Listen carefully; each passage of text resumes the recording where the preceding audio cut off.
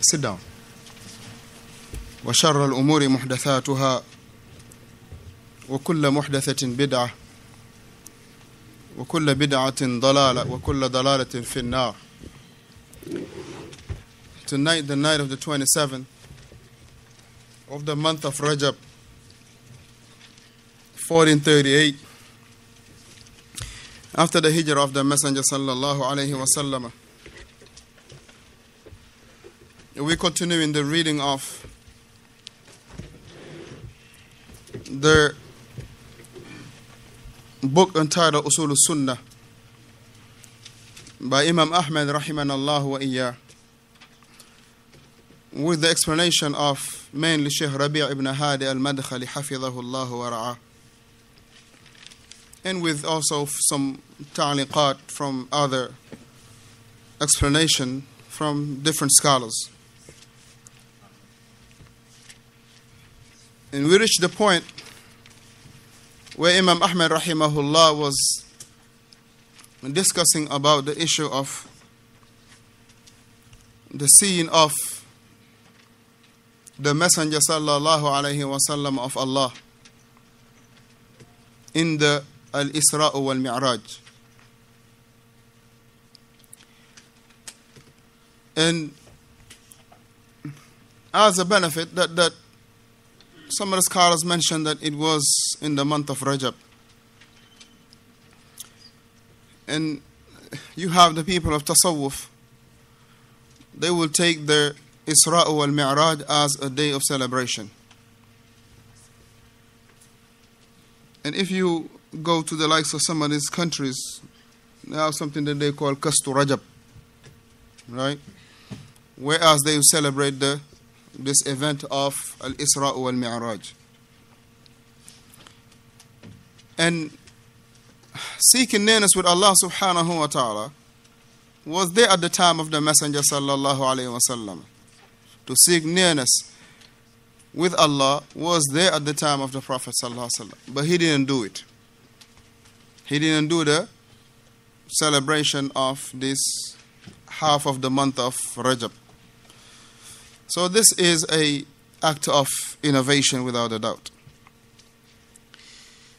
Imam Ahmad rahimahullah he mentioned about the believing in seeing Allah subhanahu wa ta'ala yawm al-qiyamati. And also he mentioned in another point in here about the Messenger sallallahu alayhi wa sallam seeing Allah subhanahu wa ta'ala. But at the end of his statement, he say, "Wal hadith عندنا ala ظاهره." That the hadith with us is as it came, meaning in the apparent meaning of it. But we had mentioned, barakallah fikum, in those three first two narration, the riwayah of Hakam ibn Aban, عن عكرمة, عن Ibn Abbas, that we have mentioned, barakallah fikum, this is what we left off last week, that Hakam ibn Aban, he is, or he was a Saduq. He was a Saduq. Know, he was not known of lying. He was not known of lying. But walahu ish. Yes, he had delusion. Walahu, what you call? Awham. Awham. And we mentioned last week right? That the awham, and we gave this homework last week. We had two homeworks last week, right, Abu Zura? We had two homework last week, right? Two. Two. The first one was about the maratibu al-idrak, right? Abu Musa. I remember you took the picture of the text last week.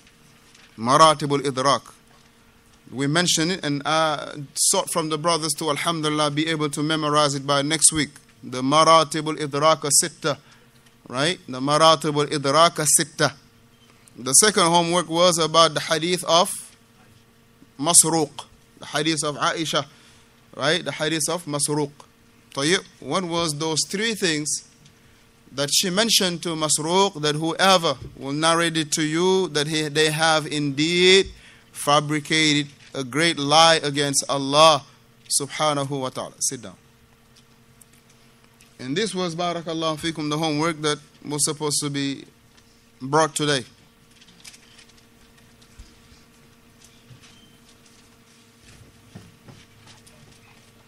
Including those who were doing it when they were sitting up there. It's the hadith of Masruq. Drame? You don't have it? Uh, Hassan? Hussein? Huh? Hussein? You don't have it. Abba Ibrahim? Ah, غائبا, that's not an excuse. Abba Musa, you were here. Abu Abu Zur'a. غا... لا أنت كنت موجود بارك الله دمبو كنت غائبا معذرة آدم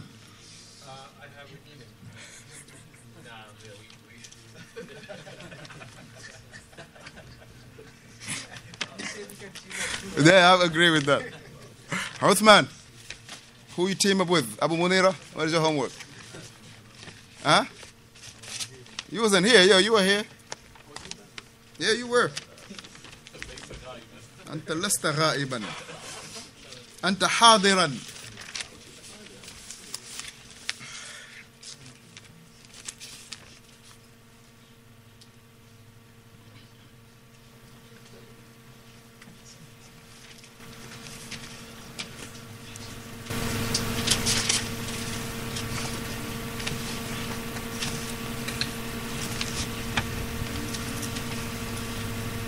بارك الله فيكم. Very good. أبا عبد الله المؤذن.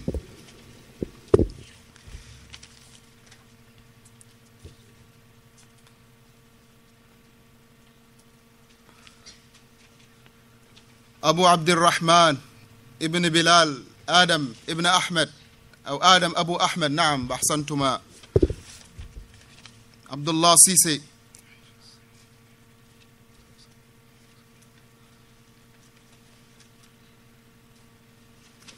Ahsanta, very good. Ismail, what is your homework? You just did it now?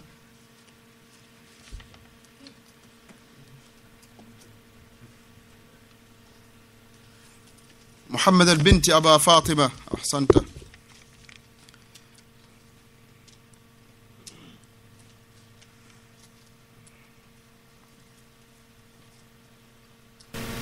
سنبلة جاور أحسنت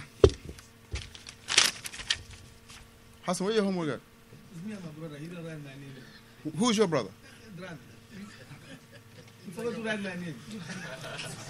No, it don't work like that. If you you got to work together.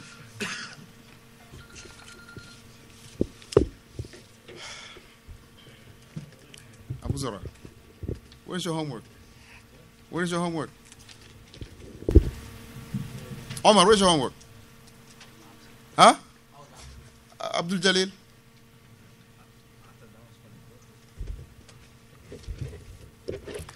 طيب the hadith of Masruq inshallah ta'ala we'll read it بإذن الله تبارك وتعالى Number one, as a side note, that Masruq, he was a mukhadram. Masruq, he was a mukhadram. Masruq, he was a mukhadram. And mukhadram mean someone that accepted the deen of al-Islam during the time of the Messenger sallallahu alayhi wa sallam. ومات على الإسلام and he died upon Islam ولكن ما لقي النبي صلى الله عليه وسلم he hasn't met the Messenger صلى الله عليه وسلم so Masruq he was a muhadram and he was from Yemen he was a muhadram muhadram and he was barakallahu fikum from muhadram and he was al-wadi'i. Al-wadi'i. Allahu akbar. Right? Al-wadi'i. Al-wadi'i we say mentioned that yesterday. Shaykh Muqbil rahimahullah. He was from the tribe of al-wadi'i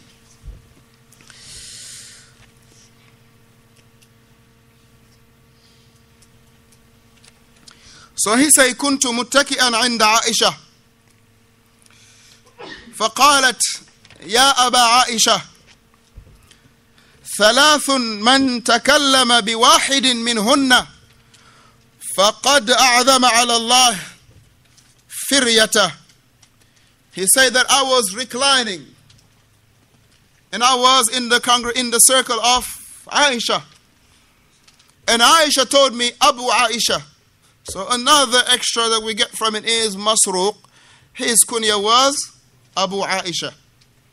Right? His kunya was Abu Aisha. So we got two extra detail in the hadith right? From in the book Barakallahu fikum Hadith Masruq that we write that he was a Mukhadram and his kunya was Abu Aisha and he was from Yemen. Ahsantum so he said that the messenger Aisha radiallahu anha said to me that three things whoever will say any of them to you whoever will narrate it to, to you any of them has indeed fabricated a great lie against Allah subhanahu wa ta'ala فقلت ما هن and I say meaning Masruq Abu Aisha say what are those three things قالت our mother Aisha رضي الله عنها said من زعم أن محمدا رأى ربه فقد أعظم على الله فرية that whoever claimed that Allah Messenger sallallahu alaihi wasallam has seen Allah with his eyes that he has indeed fabricated a lie against Allah